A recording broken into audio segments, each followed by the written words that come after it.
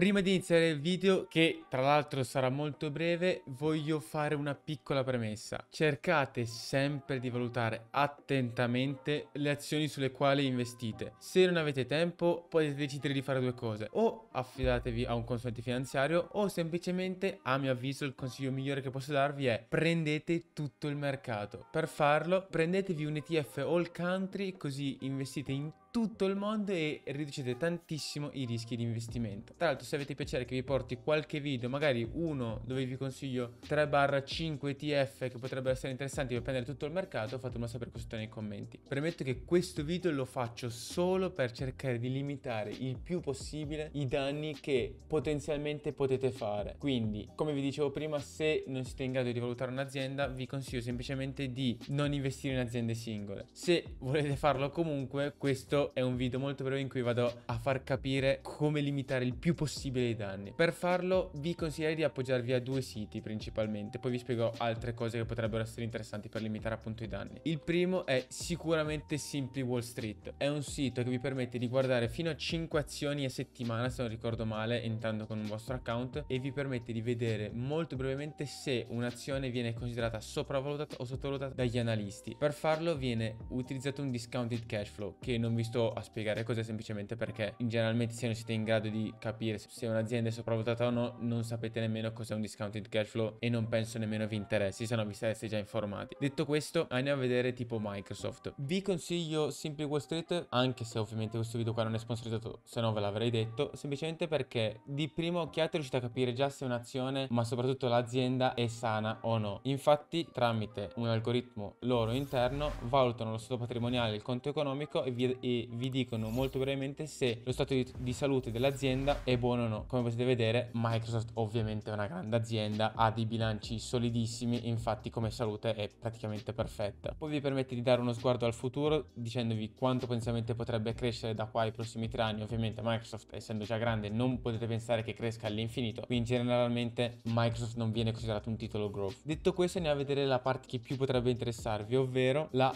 valuation. Infatti all'interno di questo sito qua potete vedere la valutazione che il sito fa tramite i multipli. Infatti va a prendere il price earnings e lo confronta con quello di settore dei competitor. Infatti se andiamo a vedere il price earnings che semplicemente è un indicatore che ti permette di capire quanto stai pagando l'azienda in relazione agli utili che fa. Infatti viene messo a numeratore la market cap, quindi la capitalizzazione di mercato, cioè quanto vale l'azienda attualmente secondo il mercato e quanti utili fa. Un'altra cosa da considerare è il price earning forward, quindi semplicemente il valore attuale dell'azienda fratto gli utili che farà nell'anno successivo e infatti la situazione qua cambia leggermente. Infatti questo indicatore qua tiene conto anche della crescita dell'azienda, infatti noi possiamo andare a inserire cliccando su questa spunta qua e qua la situazione cambia. Se generalmente vedete che l'azienda che state valutando ha un price earnings superiore al suo settore potrebbe già farvi partire un campanello d'allarme. Dovete considerare però che ovviamente il price earnings e i multipli generali dell'azienda tengono anche conto della crescita. Ovviamente un'azienda che ha un price earning di 20 ma cresce del 100% all'anno ovviamente ovviamente è meglio di un'azienda che ha un, un piedi 10 e un, una crescita stimata negativa del meno 10. La cosa più importante che potete trovare all'interno di questo sito qua è sicuramente il confronto fra il prezzo dell'azione attuale e il fair value stimato dagli analisti di Simple Wall Street. Questo viene fatto tramite un discounted cash flow, che è quello che vi dicevo prima. Attualmente, secondo gli analisti di Simple Wall Street, Microsoft è correttamente valutata in base ai multipli che ha, le crescite che teoricamente sono quelle stimate per i prossimi 3-5 anni. Quindi attualmente non è super consigliato investire in Microsoft secondo gli analisti di Simple Wall Street. Ovviamente se noi vogliamo vedere un'azienda sopravvalutata potrei magari prendervi, adesso non so cosa dicono gli analisti, però nella mia mente un'azienda che potrebbe essere sopravvalutata direi magari Enphase che è recentemente scesa però secondo me potrebbe risultare sopravvalutata. Ovviamente io ho guardato le 5 aziende che mi aspettavano ma semplicemente faccio, apro una scheda in incognito, incollo il link e dovrebbe riuscire ad aprirmelo comunque. Vado su valuation, vado a vedere, chiudo qua. Ok, purtroppo non posso fare un incognito perché mi blocca dopo un po'. Allora la cosa che vi posso consigliare io è utilizzare magari siti esterni che vi permettono di creare email temporanee e se avete piacere di guardare più di 5 aziende potete farlo così. Se no pagate, non, non so quanto costi perché non ne ho bisogno quindi non lo utilizzo tanto. Però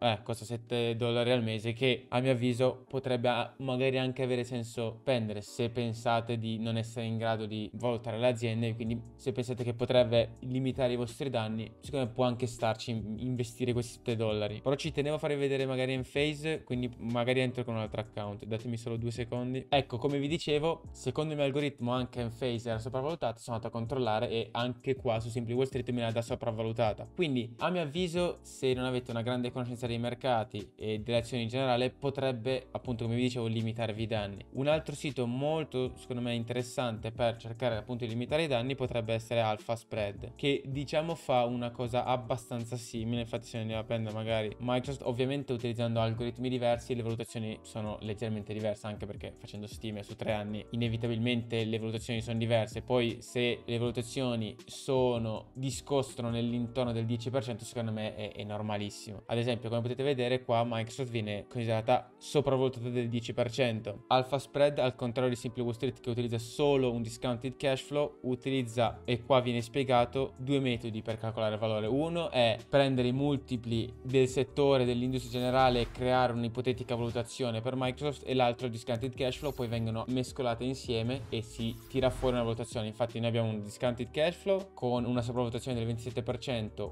una valutazione sui multipli che dà una sottovalutazione del 6%, quindi se noi le sommiamo otteniamo all'incirca una sopravvalutazione del 10% e ci può stare. Andiamo a vedere per curiosità cosa dicono di Enphase, perché paradossalmente, come vi dicevo prima, per me Enphase è una super azienda, ma queste valutazioni qua non ha senso investirci. Quindi vediamo ad esempio se siti del genere ci permettono magari di limitare i danni e ehm, ci allertano sul fatto che magari l'azienda potrebbe essere sopravvalutata. Come potete vedere qua, anche Alpha Spread considera Enphase attualmente sopravvalutata. Giusto per curiosità voglio andare a vedere Tesla perché tutti questi siti qua l'hanno sempre considerata iper sopravvalutata. Generalmente anch'io fino a qualche mese fa, attualmente è risalita tanto quindi potrebbe risultare di nuovo sopravvalutata, però mm, secondo me ha raggiunto un buon prezzo, vediamo cosa considera questo sito qua. Ci sta una sopravvalutazione del 14%, me la, me la posso aspettare e, e sono d'accordo. Andiamo a vedere per curiosità cosa dice Simply Wall Street. Simply Wall Street invece ci dà una sottovalutazione del 14%. Generalmente se posso darvi il consiglio, io per capire effettivamente se un'azienda è sopravvalutata o no, farei una media fra questi due siti qua che sono quelli che io personalmente reputo più validi. Ovviamente, come sapete, io per valutare le aziende utilizzo un mio algoritmo, quindi non mi baso su questo. Però nei, negli anni, personalmente ho fatto la schematura e secondo me questi qua sembrano i due migliori siti. Infatti, quando vado ad investire, io utilizzo il mio algoritmo, però tendenzialmente quando ho tempo magari vado a vedere se la mia opinione è concordata anche dai siti più validi che ritengo ci siano sul mercato. Però un indicatore che secondo me è il più utile che dovete considerare è il PEG, perché sento tantissima gente che lo sottovaluta. Per andare a vederlo basta semplicemente